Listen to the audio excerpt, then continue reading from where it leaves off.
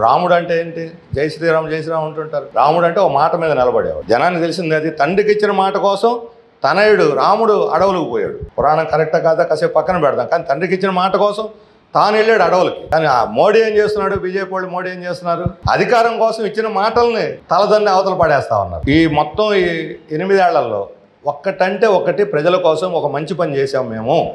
అని చెప్పమని చూద్దాం. కరోనాలో ప్రజలను ఆదుకోవటం దగ్గర నుంచి ఏదైనా సరే ఒక్క మంచి పని చేసాం మేము ప్రజల కష్టాలు ఉన్నప్పుడు చెప్పమను.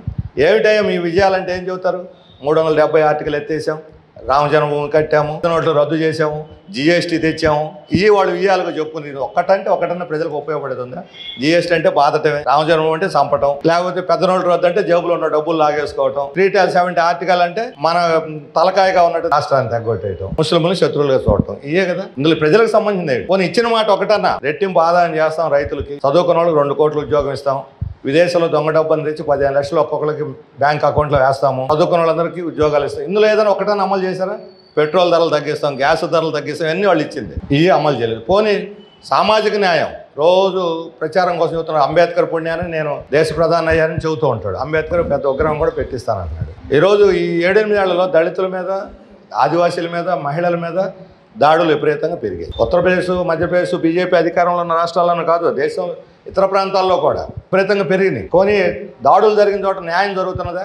కనీసం అయిపోయిన తర్వాత ఐపీసీ సెక్షన్ కింద బుక్ అయినటువంటి కేసుల్లో ముప్పై రెండు శాతం కేసుల్లో శిక్షలు పడుతూ ఉంటే ఐపీసీ కింద పోలీసులు కట్టిన కేసుల్లో ఎస్సీ ఎస్టీ అత్యాచారాల చట్టం కింద బుక్ అయిన కేసుల్లో ఇరవై నాలుగు శాతం కేసుల్లోనే శిక్షలు పడుతున్నాయి. అంటే సాధారణ చట్టాల్లో పడేటువంటి శిక్షలు కూడా ఎస్సీ ఎస్టీ అత్యాచారాలు పట్టంలో వెంటనే పోలీసు పోవటం వాళ్ళని అదిరించో బెదిరించో కౌంటర్ కేసులు పెట్టు వాళ్ళ రాజీలకు తీసుకురావటం. రాజీ చంపితే రాజీ ఏమిటి? అత్యాచారం చేస్తే రాజీ ఏమిటి? భూములు లాక్కుంటే రాజీ ఏమిటి? చేతిలో పది రూపాయలు పెట్టేసి గమ్ము నుండి కేసు ఉత్తరా చేసుకోమంటే దానికి ఎదురు కేసులు పెట్టడం. ఇది ఈరోజు జరుగుతున్న సామాజిక న్యాయం. అందుకని సామాజిక న్యాయం జరగాలనంటే మనం సంఘటిత పడాలి. డెబ్బై ఐదేళ్ళ స్వాతంత్రంలో సాధించుకున్న ఈ స్వాతంత్రాన్ని స్వేచ్ఛ ప్రజాస్వామ్యాన్ని ఏ అంబేద్కర్ ద్వారా రాజ్యాంగం వచ్చి ఒక రాజ్యాంగం ఈ రోజు వరకు బలహీన వర్గాలకు ఒక రక్షణగా ఉందో ఆ రాజ్యాంగాన్ని తొంగలో తొక్కి విధ్వంసం చేస్తూ ఉంటే దాన్ని కాపాడుకుంటూ ఒక అడుగు ముందుకు వేయాలి మనం. కాబట్టి ఈ సామాజిక న్యాయం కోసం ఎట్లయితే డెబ్బై ఐదేళ్ళ క్రితం మన పూర్వీకులు త్యాగాలు చేసి పోరాడారో దేశ స్వాతంత్రం కోసం అలాంటి మరో స్వాతంత్ర పోరాటాన్ని మనం సిద్ధపడాలి. ఈరోజు సామాజిక న్యాయం కోసం అది. అన్ని తరగతుల్ని వర్గాల్ని కూడగట్టి ఈరోజు ఎస్సీ ఎస్టీలు ఒంటరి వాళ్ళు కాదు. మహిళలు ఒంటరి వాళ్ళు కాదు. యావత్ సమాజం ఈరోజు సామాజిక న్యాయం తరఫు నిలబడి పోరాటాన్ని నడుం కట్టాలనేటువంటి ఒక సందేశంతో ఈరోజు కార్యక్రమాన్ని డెబ్బై ఐదేళ్ళ స్వాతంత్రం సామాజిక న్యాయం అనేటువంటి కార్యక్రమాన్ని దేశవ్యాప్తంగా డిఎస్ఎంఎం ఇక్కడ కేవీపీఎస్ నిర్వహిస్తూ ఉన్నాయి.